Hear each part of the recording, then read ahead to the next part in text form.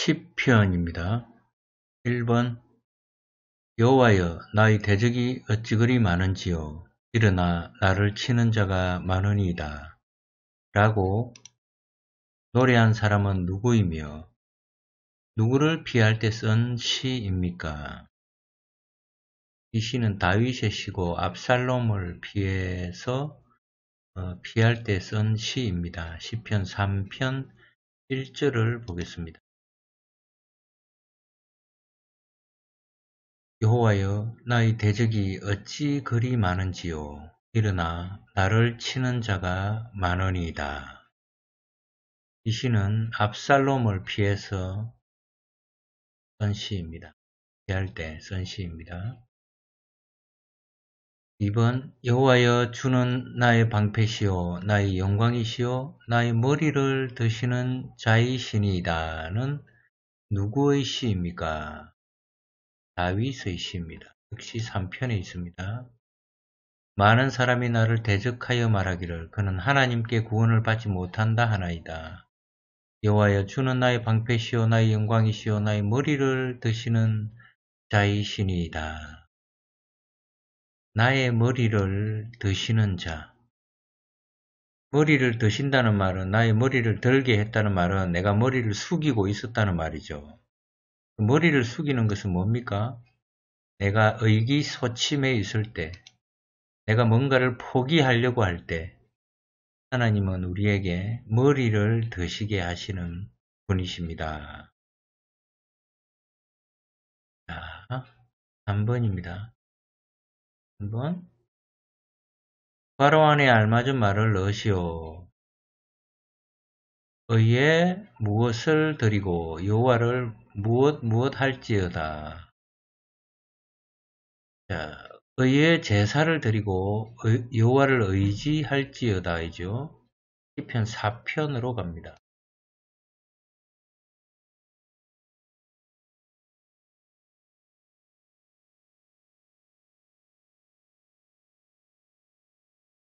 4편 편이죠. 4편. 4편 5절입니다.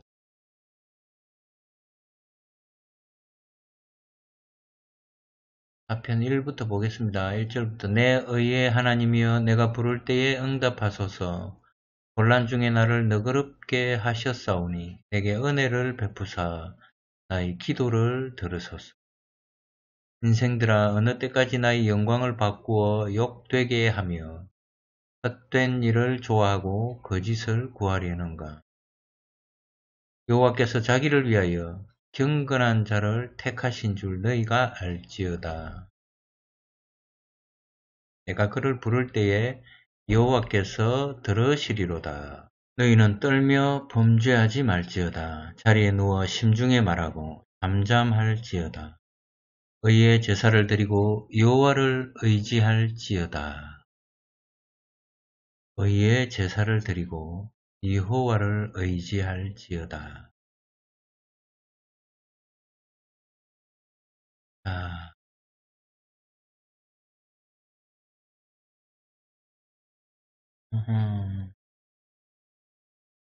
다음 문제. 10편 5편 4절에서 다윗은 주는 무엇을 기뻐하는 신이 아니 신이 라고 말하였습니까? 죄악입니다. 5편 4절입니다. 편 4절입니다.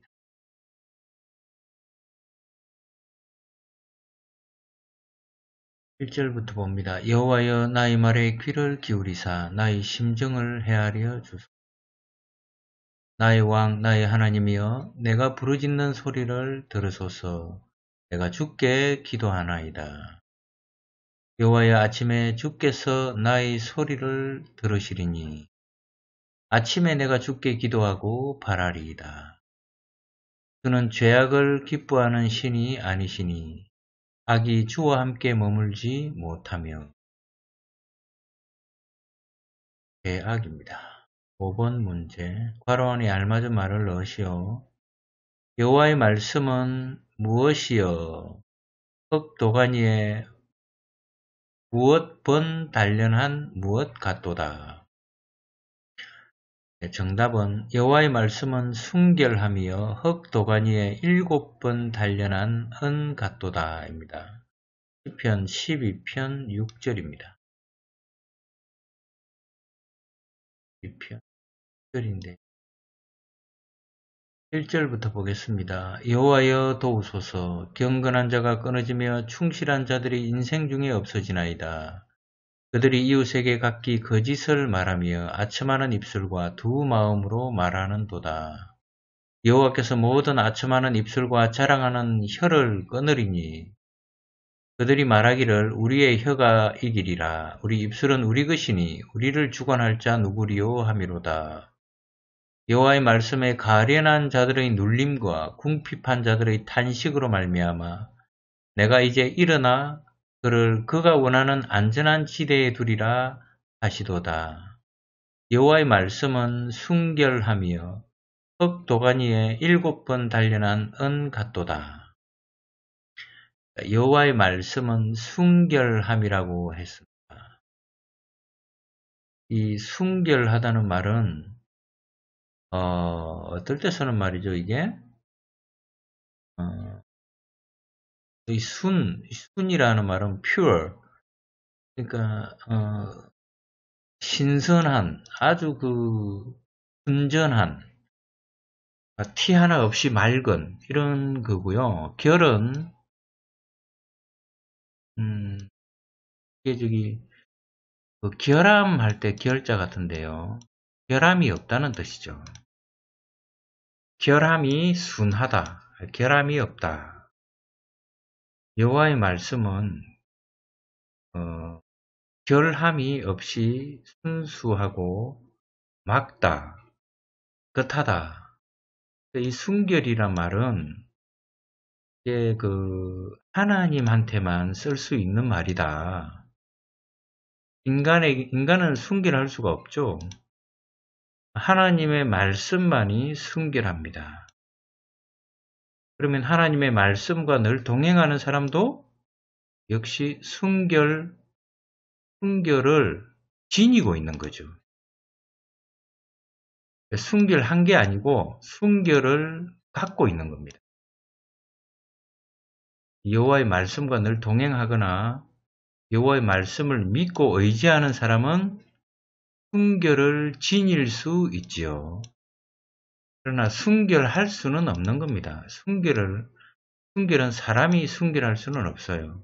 왜냐하면 죄인이기 때문에 사람이 이꼬로 죄이기 때문에 사람은 순결할 수 없지만 죄덩어리인 사람이 하나님의 말씀을 믿고 의지하면 순결을 가지고 있을 수 있습니다.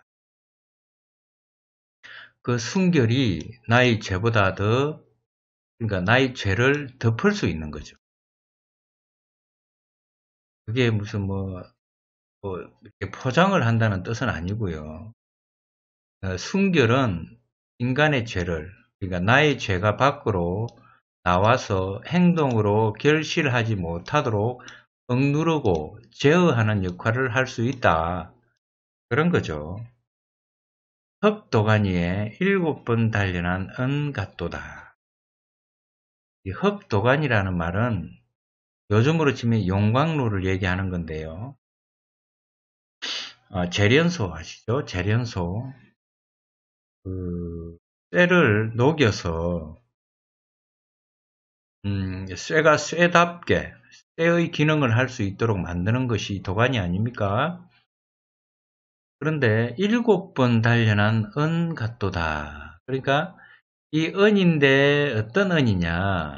아주 그, 그 불순물이 어, 거의 없는 99.99999%의 은, 아, 순은.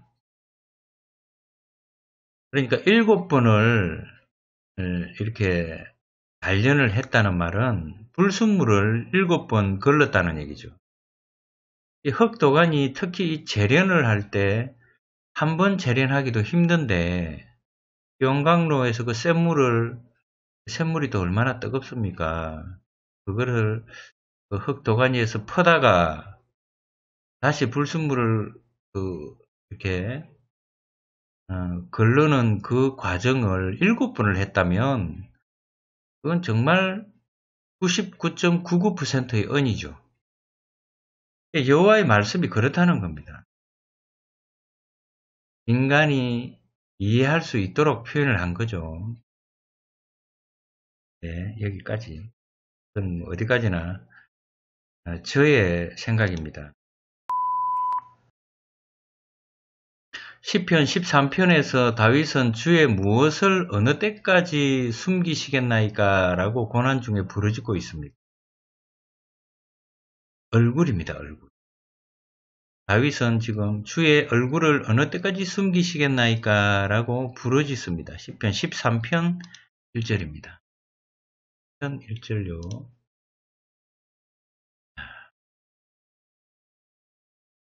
여호와여 어느 때까지니까 나를 영원히 잊으시나이까 주의 얼굴을 나에게서 어느 때까지 숨기시겠나이까 주의 얼굴을 숨기신다. 얼굴을 안 숨김, 안 숨기는 건 뭡니까, 그럼? 관심을 갖는 거죠. 관심입니다, 관심. 얼굴이 나에게로 향하고 있다는 것은 나의 얘기를 듣거나 나를 향한 상대방의 관심이죠. 하나님께서 나에게 관심을 좀 달라는 겁니다. 하나님 도대체 얼굴을 어느 쪽으로 향하고 계십니까? 그 얘기죠.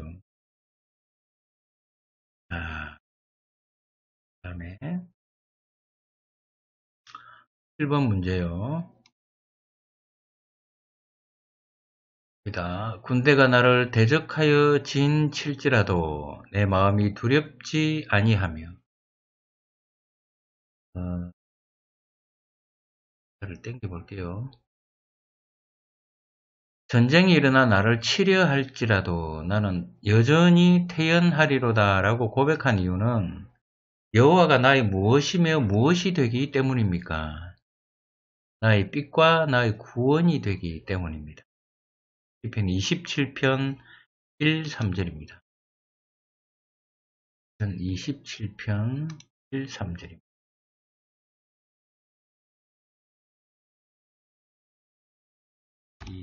7편. 1절부터 3절까지를 여호와는 나의 빛이요 나의 구원이시니 내가 누구를 두려워하리요? 여호와는 내 생명의 능력이시니 내가 누구를 무서워하리요?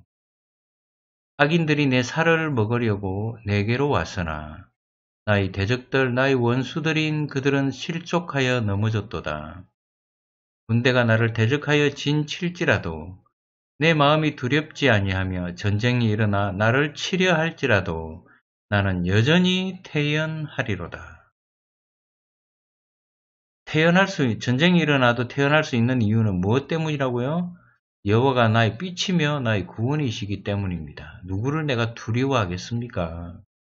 나를 구원해 주실 건데 생명의 능력이 누구라고요? 여호와입니다. 그러니까 생명만 가지고 있어서는 안 되고요. 그 생명의 능력이 생겨야 합니다. 그 생명을 생명이게 할 수 있는 분은 여호와라는 거죠. 생명을 생명이게 할 수 있는 것. 여호와라는 거죠. 생명이 그냥 가만히 있으면 뭡니까? 그냥 본능이에요. 그냥 숨만 쉬고 사는 겁니다. 그런데 생명이 능력으로 변하면 여호와의 생명이 되는 거죠. 그렇기 때문에 이 생명의 에, 이 생명이 여호와의 능력으로서의 생명입니다. 우리의 생명도 역시 예, 우리가 살아있다는 것 자체가 여호와의 능력이죠. 그러니까 생명이 살아있는 생명, 특히 여호와를 의지하는 생명이라면 당연히 여호와의 능력이 나올 수밖에 없는 겁니다.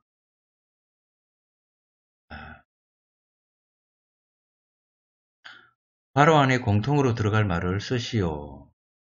여호와의 소리가 괄호 위에 있도다. 영광의 하나님이 우레소리를 내시니 여호와는 많은 무엇 위에 계시도다. 무엇일까요?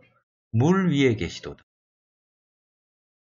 여호와의 소리가 물 위에 있도다. 영광의 하나님이 우렛 소리를 내시니 여호와는 많은 물 위에 계시도다. 시편 29편 3절입니다. 29편 3절.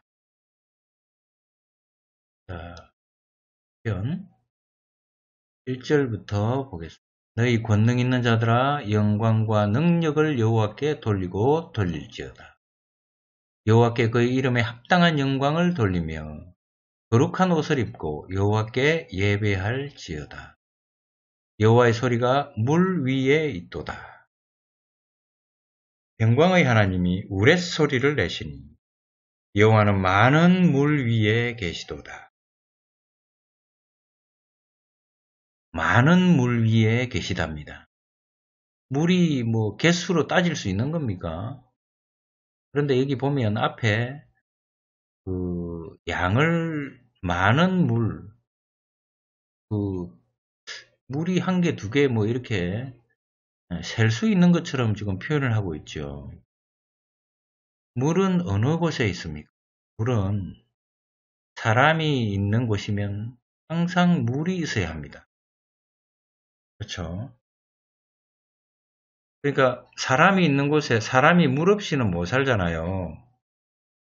그러니까 물이 있는 곳에 사람이 있는데 그 물, 물 그러니까 사람이 물이 없이는 못 사는데 그 사람이 꼭 필요한 그 물 위에 하나님이 계시다는 거죠. 물보다 더 하나님이 소중하다는 거죠. 물은 없어도 되지만 하나님은 있어야 된다. 그 얘기 아니겠습니까? 감히 물과 하나님을 비교할 수 있으랴. 뭐 이런 뜻 아니겠습니까? 여호와의 소리가 물 위에 있도다. 물 위에 있도다. 어느 것이 중요한 건지를 잘 알고 있는 기자입니다. 시편 30편 11절은 성전 낙성가입니다. 다윗은 주께서 나의 슬픔이 변하여 무엇이 되게 하셨다고 고백합니까? 나의 슬픔이 변하여 춤이 되었다고 고백합니다. 30편 11절을 보겠습니다. 11절을 보는데요. 1절부터 한번 11절은 표시를 해놓고 1절부터 봅니다. 제가 이렇게 어, 문제를 풀 때 성경 구절을 많이 읽는 것은 어, 성경의 흐름을 알기 위해서 그렇습니다. 성경이 정답만 외우고 문제만 외워서 어, 그걸 뭐 정답을 맞춰서 목사고시에 합격해야 하겠지만 그때뿐입니다. 진실로 우리가 필요한 것은 성경 구절의 흐름입니다. 성경의 흐름. 그래서 구약과 신약이 관통을 해야 됩니다. 하나로 관통을 해야 옆구리만 살짝 찔러도 무엇을 얘기해도 탁 튀어나와야 되죠. 그래서 이렇게 구절의 흐름을 잘 간파할 수 있도록 항상 구절들을 읽어 나가는 겁니다. 시간이 아무리 많이 걸려도 어, 그것은 꼭 해야 될 일이고 예. 우리가 뭐 성경을 읽을 시간이 따로 잡지 않으면 거의 없잖아요. 그러니까 이 목사고시를 준비할 때에 이럴 때 이렇게 성경 구절을 좀 많이 읽어놔야 합니다. 앞으로도 어, 이런 식으로 쭉 음, 성경을 읽어 나가면서 어, 풀이도 하고 그렇게 해 보려고 지금 하고 어, 있습니다. 아, 30편 여호와여 내가 주를 높일 것은 주께서 나를 끌어내사 내 원수로 하여금 나로 말미암아 기뻐하지 못하게 하심이니이다. 여호와 내 하나님이여 내가 죽게 부르짖음에 나를 고치셨나이다. 여호와여 주께서 내 영혼을 서울에서 끌어내어 나를 살리사 무덤으로 내려가지 아니하게 하셨나이다. 주의 성도들아 여호와를 찬송하며 그의 거룩함을 기억하며 감사하라. 그의 노염은 잠깐이요 그의 은총은 평생이로다. 저녁에는 울음이 깃들일지라도 아침에는 기쁨이 오리로다.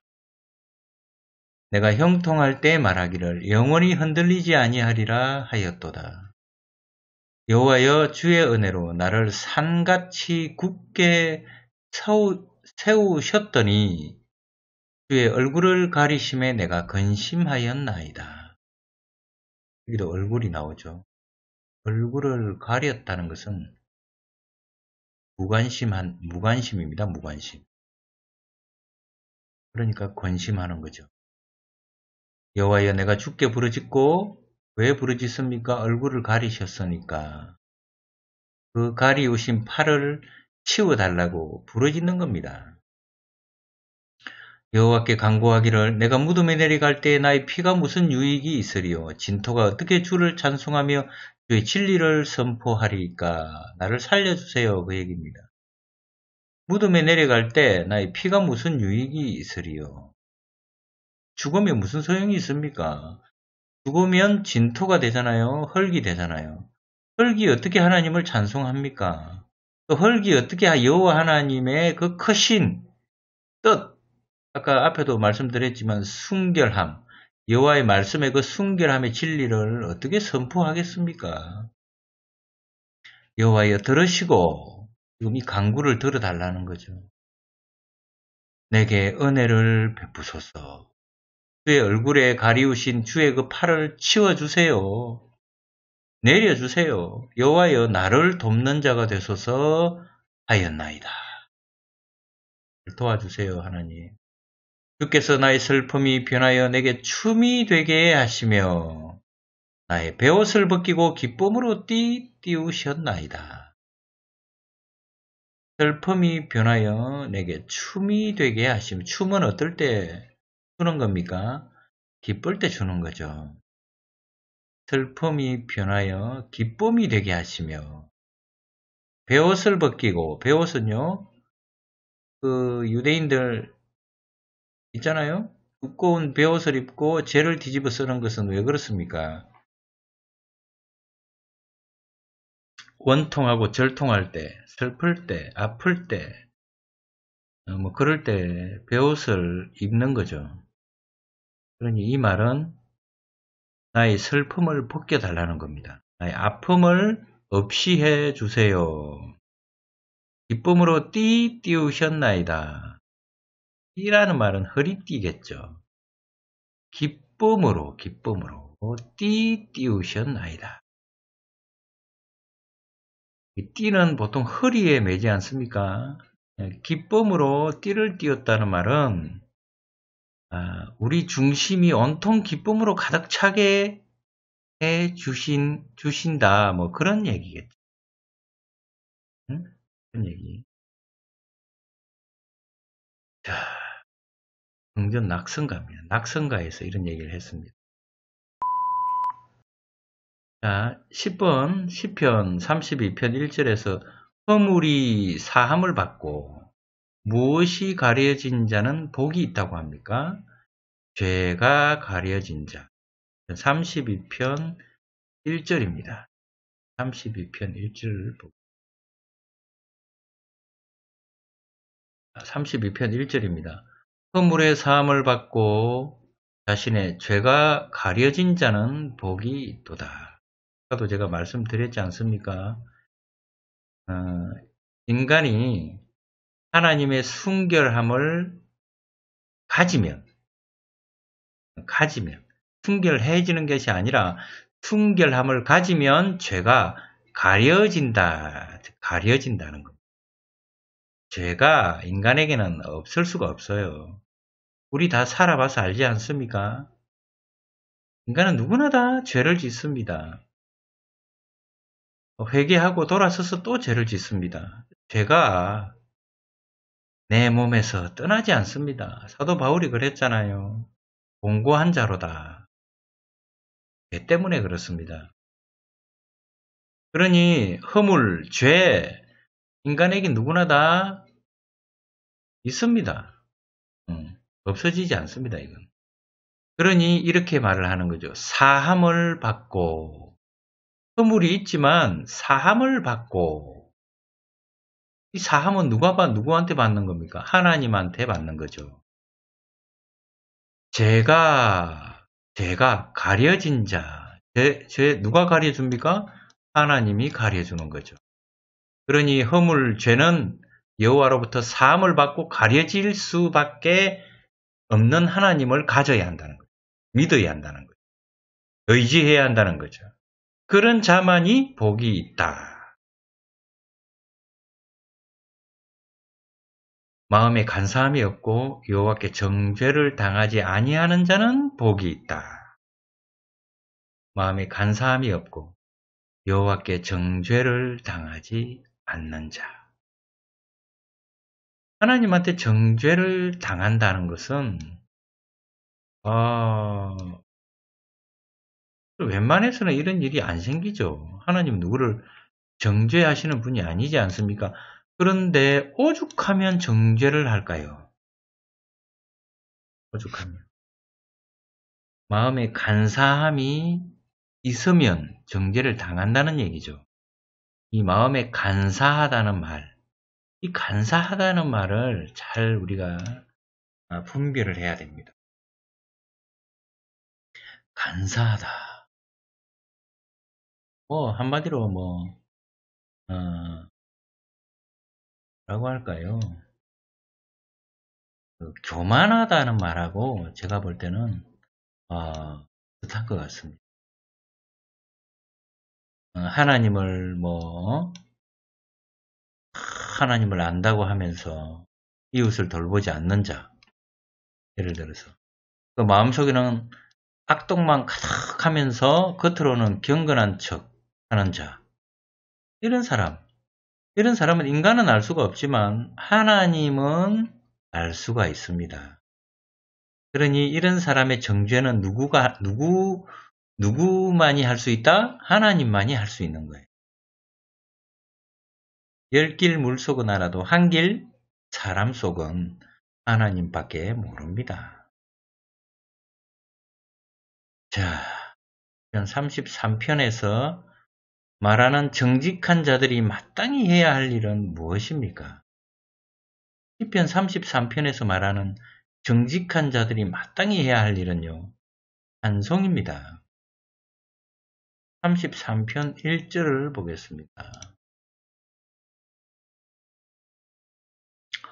너희 의인들아 여호와를 즐거워하라. 찬송은 정직한 자들이 마땅히 할 바로다. 여호와를 즐거워하는데 누구를 보고 하는 말입니까? 너희 의인들아. 의인들아. 의인들아. 찬송은 정직한 자들이 여기서 이 정직한 자들은 누굽니까? 의인들입니다. 의인들. 의인들을 보고 지금 정직한 자다 이렇게 말하잖아요. 아까는 간사한 자들을 하나님은 정죄한다 그랬죠. 의인들은 정직하다고 칭찬하십니다. 찬송입니다. 시편 34편의 표제어가 뭘까요? 시편 34편의 표제어를 한번 보겠습니다.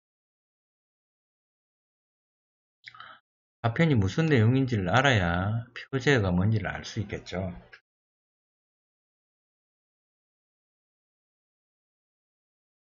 자, 음, 아, 제가 가끔씩 이, 지금 이거 보이죠? 어, 지금 이게 뭐냐면, 아동부 교재를 만드는 중에, 예, 이거 하면서, 그 시간이 날 때마다 이렇게 아동부 교재를 지금 만들고 있습니다.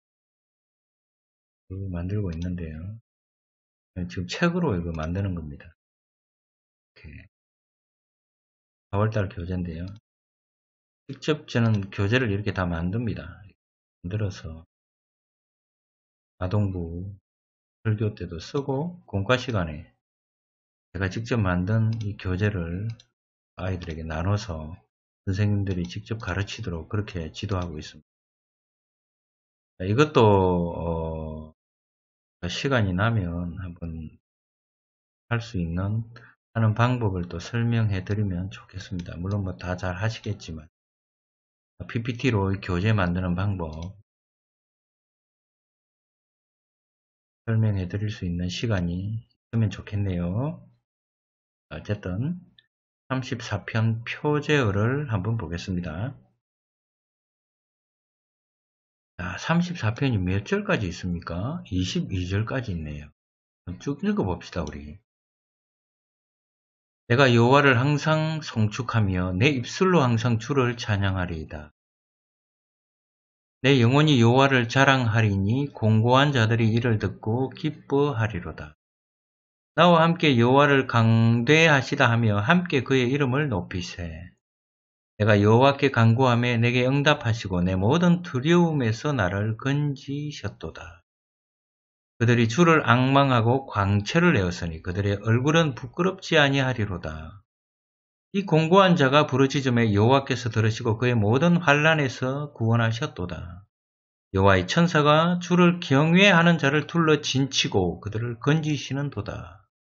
너희는 여호와의 선하심을 맛보아 알지어다. 예전에 제가 이 맛보아 알지어다로 설교를 한번 한 적이 있습니다.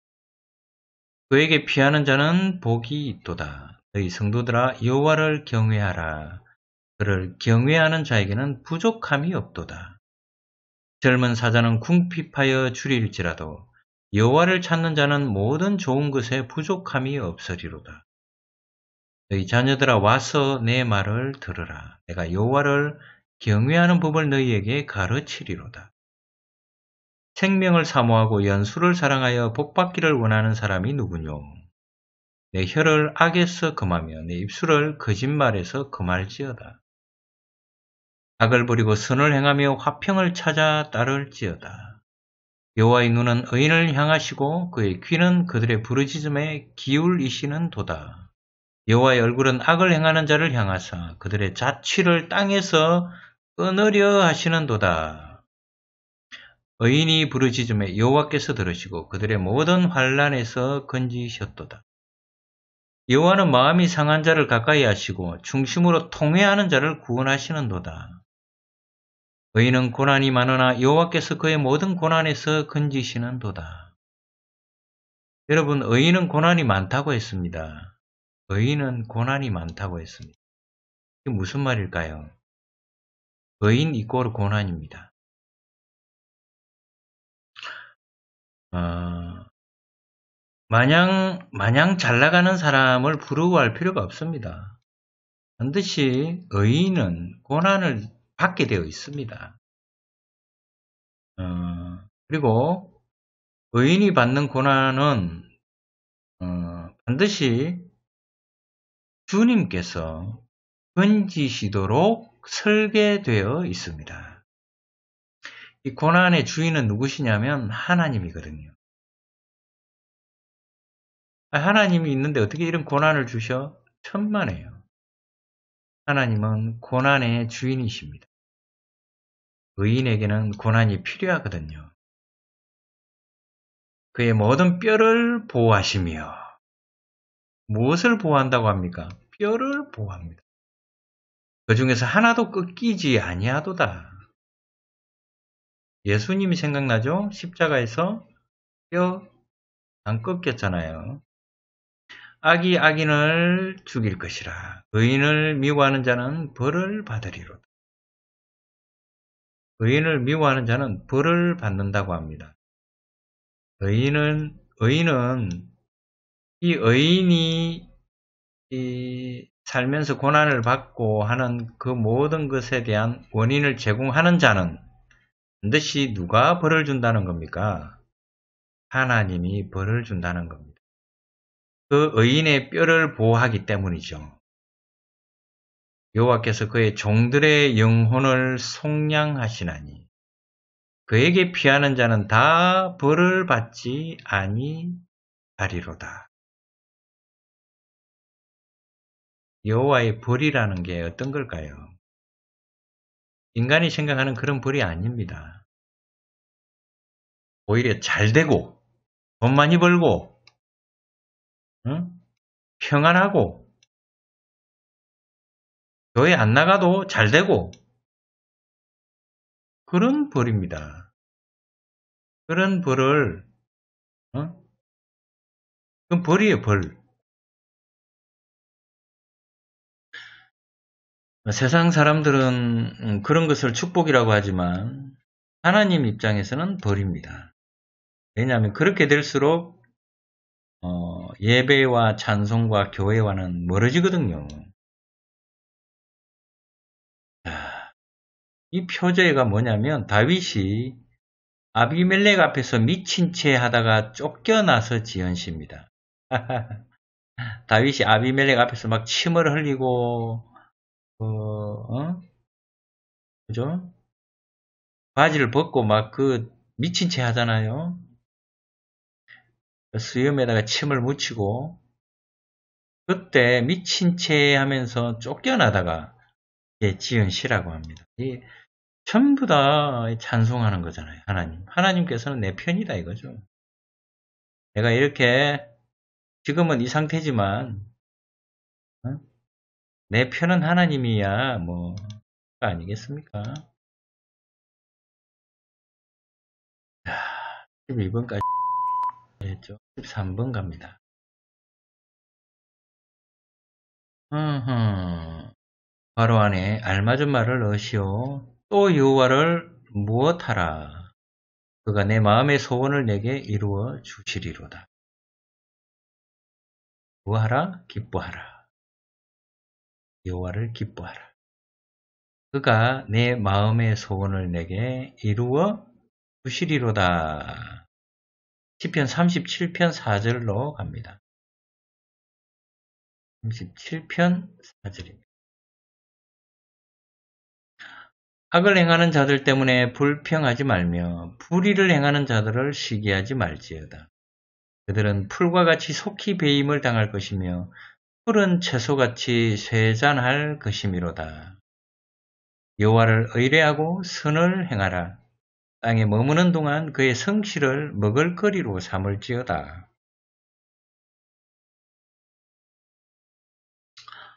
하나님의 성실을 먹을거리로 삼으랍니다. 또 여호와를 기뻐하라 그가 내 마음의 소원을 내게 이루어 주시리로다. 마음의 소원을 이루어 준다고 합니다. 어떻게 할 때? 여호와를 기뻐할 때. 마음의 소원이 육적인 소원이 될 수가 없죠. 여호와를 기뻐하면 내 마음의 소원은 여호와를 기뻐할 때 마음의 소원을 얘기하는 겁니다. 시편 40편에서 다윗은 가난하고 궁핍할 때 주님을 뭐라고 고백합니까? 나를 생각하시느니 나의 도움, 건지시느니 나의 하나님. 시편 40편으로 갑니다.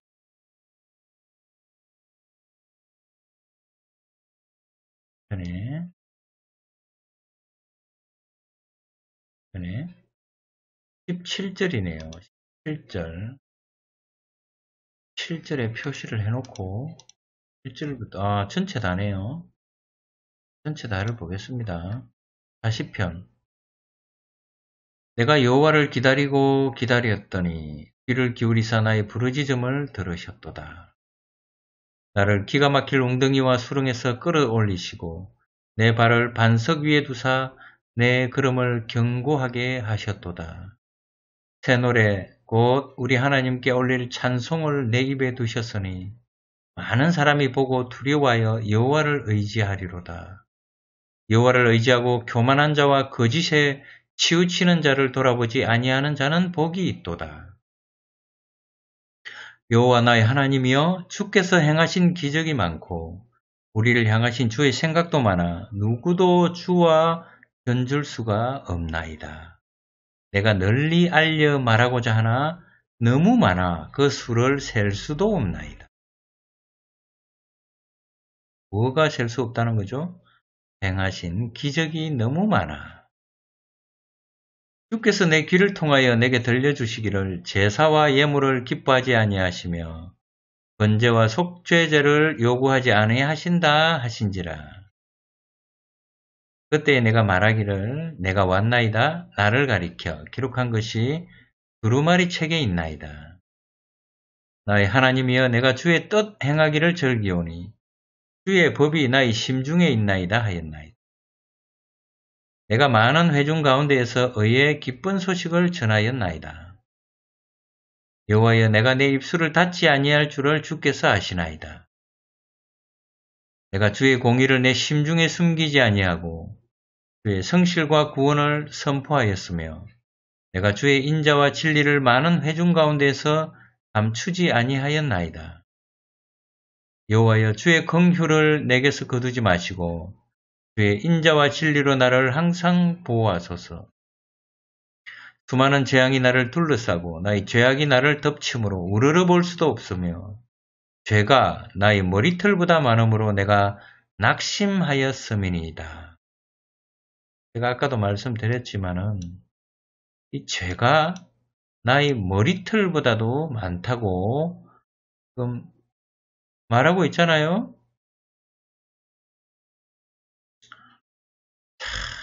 나의 죄악이 나를 덮침으로 죄악이 나를 덮침으로 우러러 볼 수가 없다고 합니다.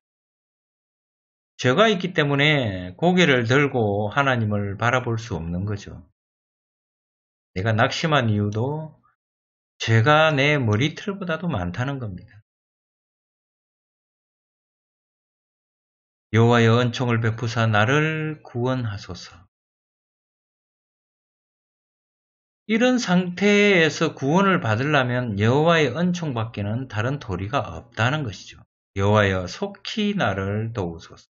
빨리 은총을 베풀어 구원하시지 않으면 어떻게 된다고요? 이 죄, 죄의 노예가 되고 맙니다. 내 생명을 찾아 멸하려 하는 자는 다 수치와 낭패를 당하게 하시고, 왜? 이 내 생명, 누구의 생명입니까? 하나님의 능력입니다. 이 하나님의 능력을 멸하려고 하는 자는 다 당연히 수치와 낭패를 당하게 되죠. 하나님의 능력을 누가 감히 멸할 수 있습니까? 다만 내 생명이 하나님의 능력이 되기 위해서는 하나님을 의지해야 합니다. 나의 해를 기뻐하는 자는 다음 물러가 욕을 당하게 하소서. 나의 해, 이게 해라는 얘기는 저 하늘에 떠 있는 해가 아닙니다. 나의 피해, 내가 당하는 모든 고난들을 기뻐하는 자들, 응? 내가 잘못된 것을 조소하는 자들, 비웃고 하는 자들, 그런 자들은 다 욕을 당하게 하라는 겁니다. 나를 향하여 하하하하 하며 조소 나오네요. 조소하는 자들이 자기 수치로 말미암아 놀라게 하소서. 오히려 나를 비웃는 자들이 자기들의 부끄러움을 발견하고 소스라치게 놀라게 하라는 겁니다. 주를 찾는 자는 다 주 안에서 즐거워하고 기뻐하게 하시며 주의 구원을 사랑하는 자는 항상 말하기를 여호와는 위대하시다 하게 하소서. 나는 가난하고 궁핍하오나 주께서는 나를 생각하시오니 주는 나의 도움이시오 나를 건지시는 이시라 나의 하나님이여 지체하지 마소서. 주께서는 나를 생각하시오니 그는 나의 도움, 나를 건지시느니 나의 하나님. 나는 가난하고 궁핍합니다. 그러나 나의 가난과 궁핍을 주님이 생각을 하십니다. 그러니 주님이 나에게 도움을 주시겠지요. 당연히 건져 주시겠지요. 그런 하나님이 바로 나의 하나님입니다. 자, 그래서 시편 40편에서 다윗은 가난하고 궁핍할 때 주님을 뭐라고 고백했습니까 지금? 나를 생각하시는 이 나의 도움 건지시는 이 나의 하나님이라고 고백하고 있습니다. 15번 문제입니다. 10편 제2권은 어디에서 어디까지인가? 10편 2권은 10편 42편부터 10편 72편까지를 2권이라고 합니다. 이건 그냥 정도만 알아두면 됩니다. 2권 10편 42, 72 이자가 3개나 들어가네요. 2권 42, 72 16번입니다. 괄호 안에 알맞은 말을 넣으시오. 무엇은 진리와 온유와 공의를 위하여 무엇의 위험을 세우시고 경거에 오르소서. 무엇의 오른손이 무엇에게 놀라운 일을 가르치리이다. 네, 전부 다 왕입니다. 왕. 45편 4절 보겠습니다. 45편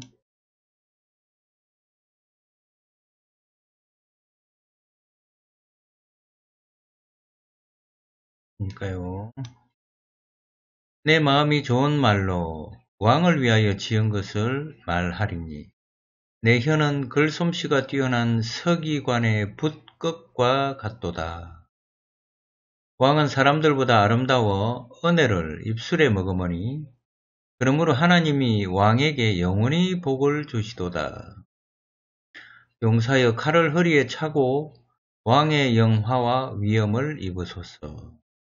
왕은 진리와 온유와 공의를 위하여 왕의 위엄을 세우시고 경거에 오르소서 왕의 오른손이 왕에게 놀라운 일을 가르치리이다.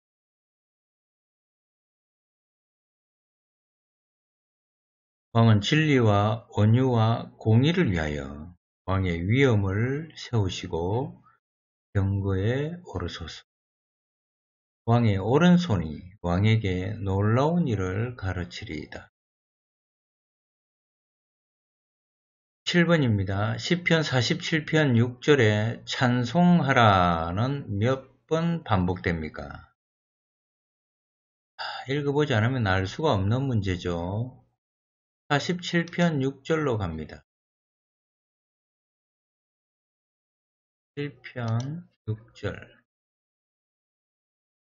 찬송하라 하나님을 찬송하라 찬송하라 우리 왕을 찬송하라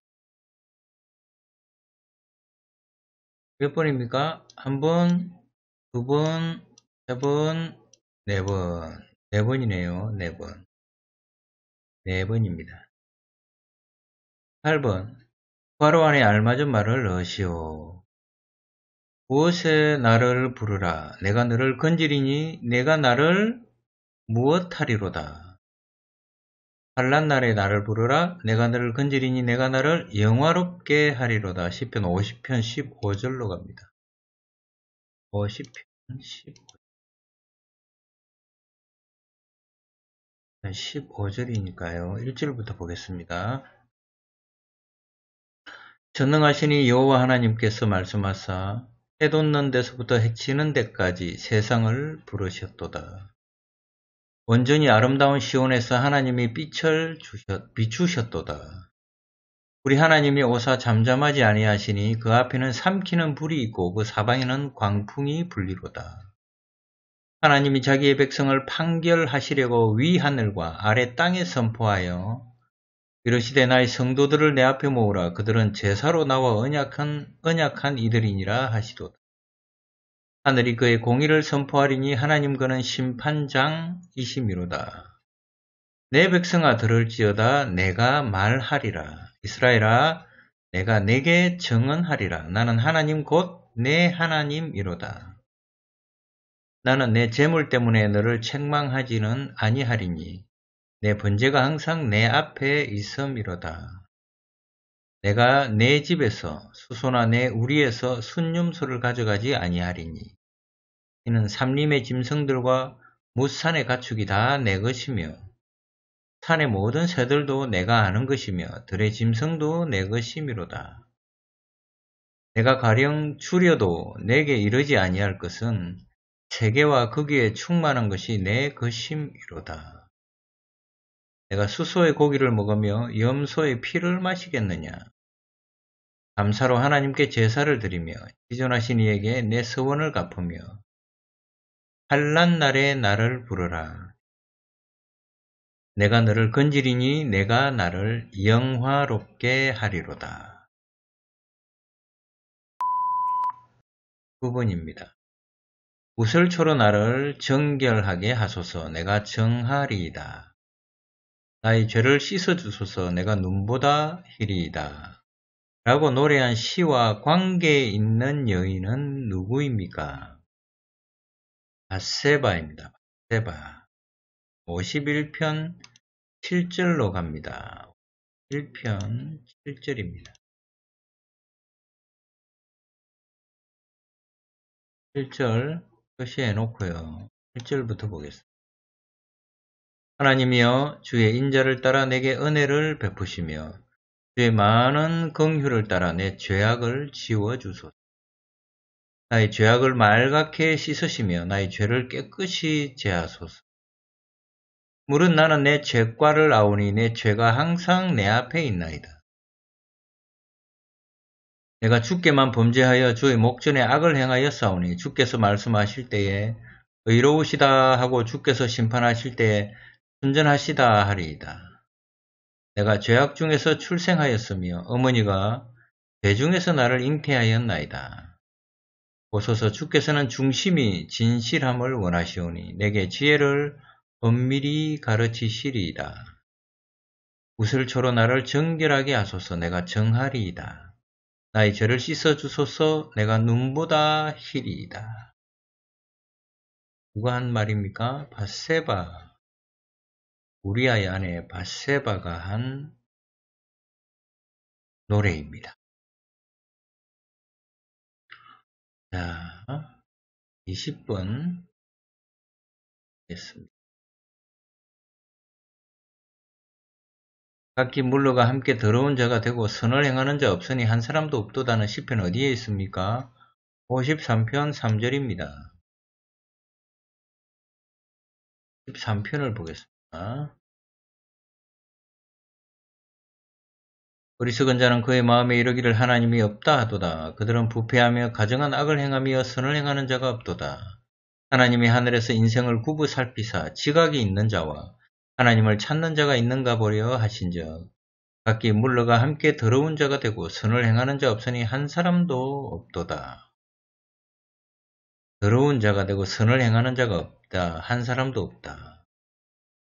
이 구절이 구절을 보고 생각나는 구절이 없습니까? 의인은 없으니 하나도 없다. 생각나죠? 10편 55편 22절에서 내 무엇을 여호와께 맡기라고 했습니까? 짐을 맡기라고 했습니다. 55편 22절입니다. 55편 20절입니다.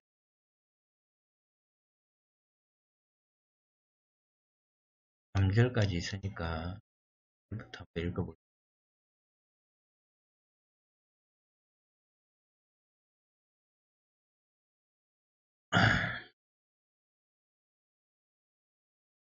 하나님이여 내 기도에 귀를 기울이시고 내가 간구할 때에 숨지 마소서. 내게 굽히사 응답하소서. 내가 근심으로 편하지 못하여 탄식하오니 이는 원수의 소리와 악인의 압제 때문이라 그들이 죄악을 내게 더하며 노하여 나를 핍박하나이다. 내 마음이 내 속에서 심히 아파하며 사망의 위험이 내게 이르렀도다. 두려움과 떨림이 내게 이르고 공포가 나를 덮었도다. 나는 말하기를 만일 내게 비둘기같이 날개가 있다면 날아가서 편히 쉬리로다. 내가 멀리 날아가서 광야에 머무르리로다. 내가 나의 피난처로 속히 가서 폭풍과 광, 광풍을 피하리라 하였도다. 내가 성내에서 강포와 분쟁을 보았사오니 주여 그들을 멸하소서 그들의 혀를 잘라버리소서. 그들이 주야로 성벽 위에 두루 다니니 성 중에는 죄악과 재난이 있으며 악독이 그 중에 있고 압박과 속임수가 그 거리를 떠나지 아니하도다. 나를 책망하는 자는 원수가 아니라 원수일진데 내가 참았으리라. 나를 대하여 자기를 높이는 자는 나를 미워하는 자가 아니라 미워하는 자일진데 내가 그를 피하여 숨었으리라. 그는 곧 너보다 나의 동료, 나의 친구요, 나의 가까운 친구로다. 우리가 같이 재미있게 의논하며 무리와 함께하여 하나님의 집안에서 다녔도다. 사망이 갑자기 그들에게 임하여 산채로 서울에 내려갈지어다. 이는 악독이 그들의 거처에 있고 그들 가운데에 있음이로다. 나는 하나님께 부러지으리니 여호와께서 나를 구원하시리로다. 저녁과 아침에 정오에 내가 근심하여 탄식하리니 여호와께서 내 소리를 들으시리로다. 나를 대적하는 자 많더니 나를 치는 전쟁에서 그가 내 생명을 구원하사 평안하게 하셨도다. 옛부터 계시는 하나님이 들으시고 그들을 낮추시리이다. 그들은 변하지 아니하며 하나님을 경외하지 아니함이니이다.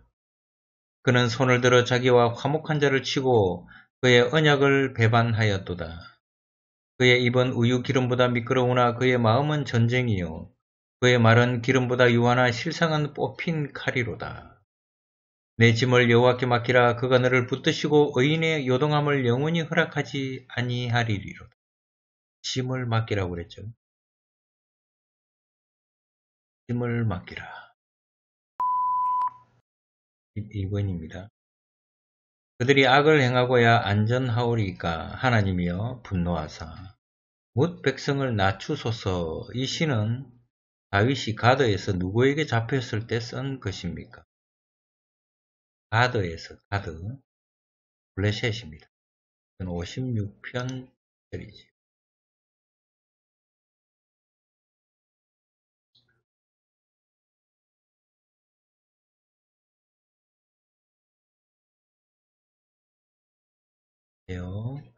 하나님이 은에게 은혜를 베푸소서 사람이 나를 삼키려고 종일 침이 앞지 않아이다.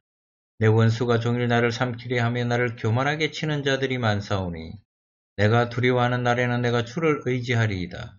내가 하나님을 의지하고 그 말씀, 말씀을 찬송하올지라. 내가 하나님을 의지하여 선적 두려워하지 아니하리니 혈육을 가진 사람이 내게 어찌하리이까. 그들이 종일 내 말을 꼭해하며 나를 치는 그들의 모든 생각은 사악이라. 그들이 내 생명을 엿보았던 것과 같이 또 모여 내 발자취를 지켜보나이다. 그들이 악을 행하고야 안전하오리이까 하나님이여 분노하사 못 백성을 낮추소서. 블레셋 사람들한테 잡혔을 때 그립니다.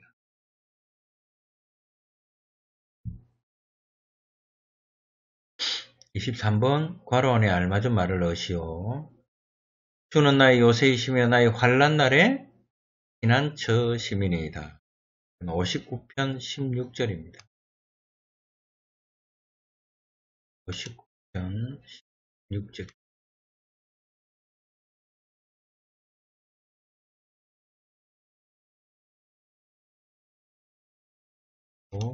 되고요. 주는 나의 힘을 나는 주의 힘을 노래하며 아침에 주의 인자하심을 높이 부르오리니 주는 나의 요새이시며 나의 환란 날의 피난처 시민이다.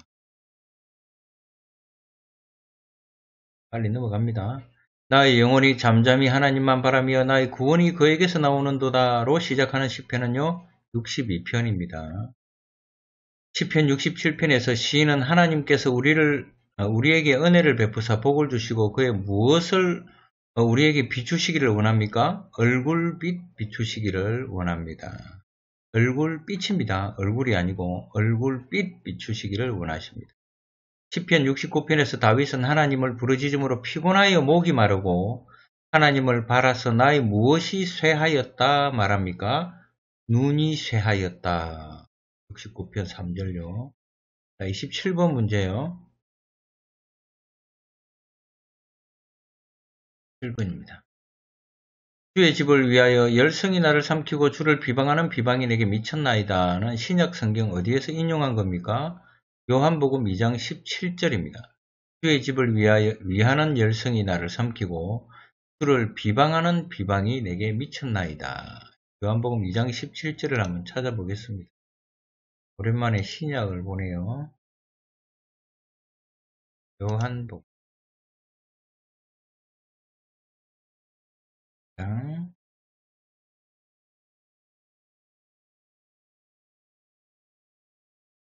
이제 구약 끝나면 곧 신약합니다. 7절이네요. 제자들이 성경 말씀에 주의 전을 사모하는 열심이 나를 삼키리라 한 것을 기억하더라.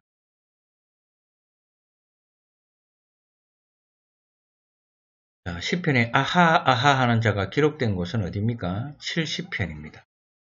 아하 아하 하는 것은 70편에 있습니다.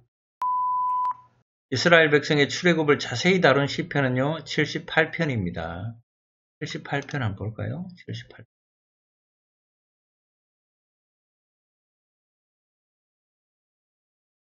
78편.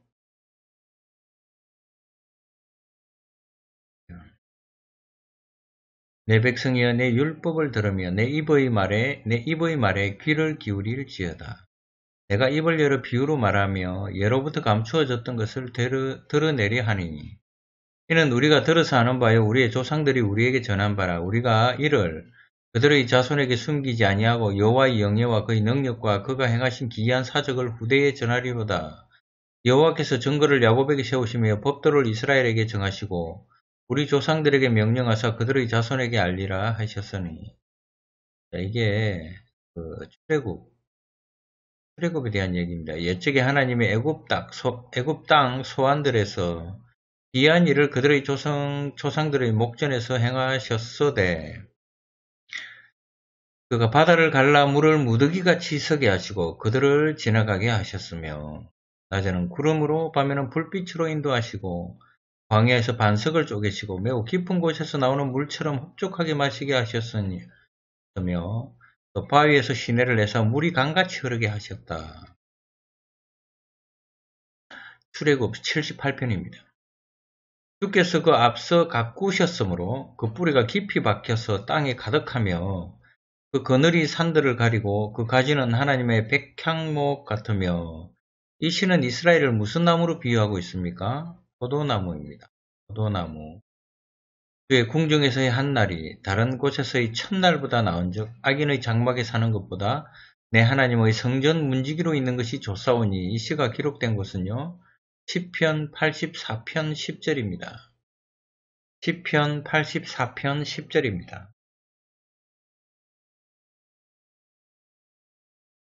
아, 목이 말라서 지금 물을 좀 마셨습니다. 32번요. 우리의 연수가 70이요. 강건하면 80이라도 그 연수의 자랑은 수고와 슬픔뿐이요. 신속히 가니 우리가 날아가나이다 라는 말씀의 시편은 누구의 시고 몇 장 몇 절입니까? 이거 모세의 시고 시편 90편 10절입니다.